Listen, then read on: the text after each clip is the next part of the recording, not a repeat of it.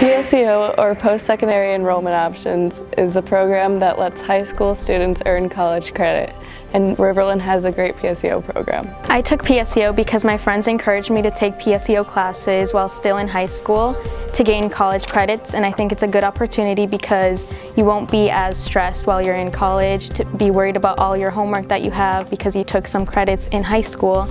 And I'm currently currently majoring in human services and I'm involved in PTK and DEEDS and PSEO students are also eligible to participate in these activities and clubs and organizations in Riverland which I think is a really good opportunity.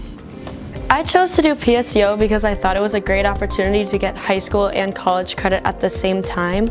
And it has been a great experience for me because I've learned how to um, put in the effort that I need for college when I actually get to university and also um, to advocate for myself when I feel like I'm struggling in my classes.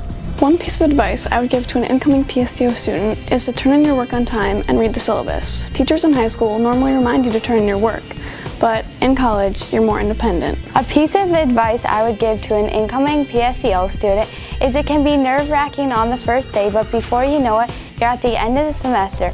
So you can set your mind to it and push through knowing you got it.